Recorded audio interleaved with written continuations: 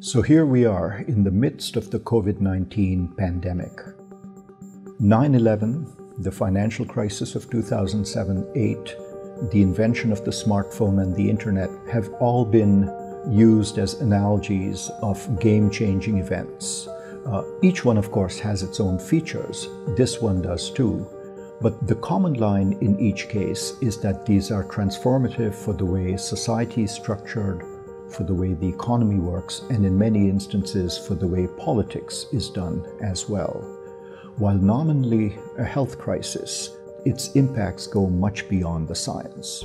As COVID escalates and as we need to better understand the way that it spreads, we also need to be really careful that in trying to solve one problem, we're not creating an entirely new set of problems that will plague us for years to come.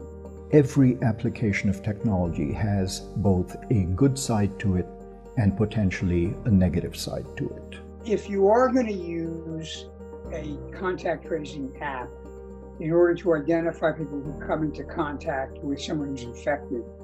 Uh, it's important to build an architecture and a set of rules that minimize the ability to use that data for other purposes. So, to give them this very potent tool of surveillance, knowing where they are at all times, is very dangerous for civil liberties, very dangerous for freedom of speech, and I think it erodes uh, much of uh, the already thin public trust that many of these communities have in government services. I think governments need to be thinking about privacy uh, from the perspective of the human right to privacy. This crisis has shown how fragile is the state of global cooperation currently and how little is the appetite for more of it, precisely at a time when we need more of it, be it in health, in trade, in scientific research, in debt relief.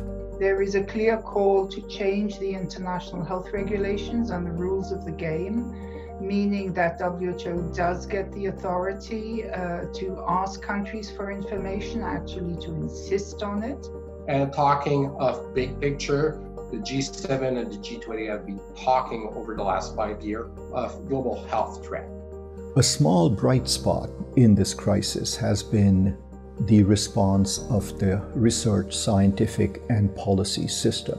What COVID did is caused all of the actors involved with doing the research and innovation to abandon that system. Suddenly, instead of doing things themselves and patenting it, and a patent here is a way to keep people out, not to share, not to build on each other. That's how you make money. They abandoned all that and they suddenly started radically sharing knowledge.